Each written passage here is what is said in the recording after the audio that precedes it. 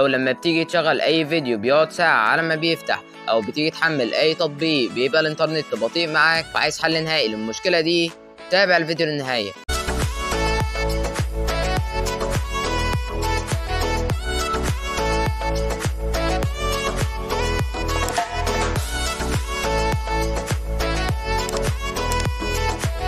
السلام عليكم ورحمة الله أهلا بيكم معانا في فيديو جديد من قناة عجم اسطنبول النهاردة معانا فيديو جديد عن حل مشكلة بطء وتقطيع الإنترنت بطريقة سهلة وبسيطة جدا. بس كده قبل ما نبدأ الفيديو لو أنت مهتم بالمحتوى اللي إحنا بنقدمه عن أفضل تطبيقات الموبايل وحل مشاكل الموبايل وحل مشاكل الإنترنت انزل اشترك في القناة وفعل زر الجرس على الكل عشان ما يفوتكش كل فيديوهاتنا الجاية. واعمل like للفيديو عشان بيشجعنا.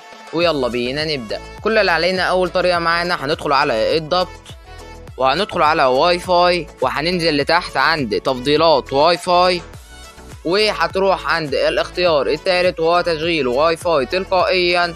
هتلاقيه مش متفعل لازم تفعله. الخيار ده مهم جدا عشان لو انت مثلا بتستخدم شبكة تانية بره البيت ولما بترجع البيت مثلا لو المكان اللي انت كنت مشغل فيه الواي فاي قريب من البيت ممكن تكون شغال على الواي فاي بتاع المكان التاني فهتلاقي الانترنت بطيء معاك. فأول لما تفعل الخيار ده الموبايل هيختار أحسن شبكة موجودة في المنطقة اللي انت موجود فيها وهيبدأ اللي هو يخليك تستخدم الواي فاي بيها. فدي الطريقة الأولى معانا في فيديو النهارده. هندخل على الطريقة التانية وهي اللي انت هتدخل على خيارات المطور ولو مش متفعله عندك زي ما قلنا قبل كده هتدخل على هاتفي وهتروح عند رقم الإصدار وهتضغط عليه خمس مرات هتتفعل مع خيارات المطور وهتضغط عليها ولو مش متفعلة هتفعلها وهتضغط على موافق وهتبدأ اللي أنت تنزل لتحت عند تسريع الأجهزة للتوصيل وهتبدأ اللي أنت تفعلها عشان لو فعلت الخيار ده هيبدأ شبكة الواي فاي ومع الموبايل بتاعك هيبدأ اللي هو يحصل ما بينهم اتصال أكتر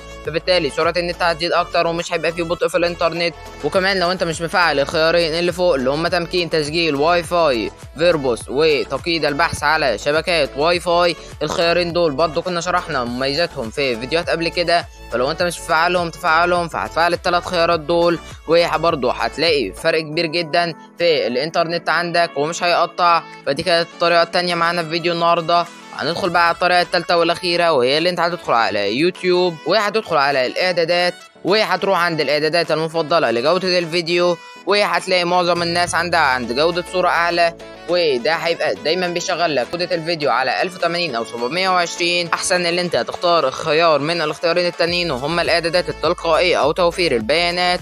فهتختار الإعدادات التلقائية لو الإنترنت قوي عندك. في الفترة اللي أنت بتشتغل فيها الفيديو إن الفيديو يشتغل على 1080 أو 720 ولو الإنترنت عندك بطيء هتبقى جودة الفيديو 144 أو 240 ولكن أنا ما بفضلش الخيار ده عشان لو الإنترنت عندك كويس هيبدأ اللي هو يشغل كل الفيديوهات بجودة 1080 و720 وهيسحب من باقة الإنترنت بشكل كبير جدا. ولو أنت بتعاني من مشكلة سرعة انتهاء باقة الإنترنت هسيب لك تحت في وصف الفيديو. فيديو لحل المشكلة دي. فأنا بفضل خيار توفير البيانات ده الخيار ده هيبدأ اللي هو يشغل لك كل الفيديوهات على جودة 240 أو 360 فجوده الفيديو هتبقى كويسة وفي نفس الوقت مش هيسحب من باقه الإنترنت وبرده الفيديو مش هيقطع معاك ولا هيقف معاك. فدول كانوا الثلاث طرق بتوع فيديو النهارده. لو بتدور على طريقه استرجاع الصور والفيديوهات المحذوفة من موبايلك حتى بعد ال format سيب لك برده تحت في وصف الفيديو. فيديو للطريقة دي ولو استفدت أي حاجة من الفيديو ما تنساش تعمل like للفيديو عشان بيشجعنا. ولو أنت مهتم بالمحتوى اللي إحنا بنقدمه عن أفضل تطبيقات الموبايل وحل مشاكل الموبايل وحل مشاكل الانترنت انزل. اشترك في القناه وفعل زر الجرس على الكل عشان ما يفوتكش كل فيديوهاتنا الجاية. واعمل like للفيديو عشان بيشجعنا. والسلام عليكم ورحمة الله وبركاته.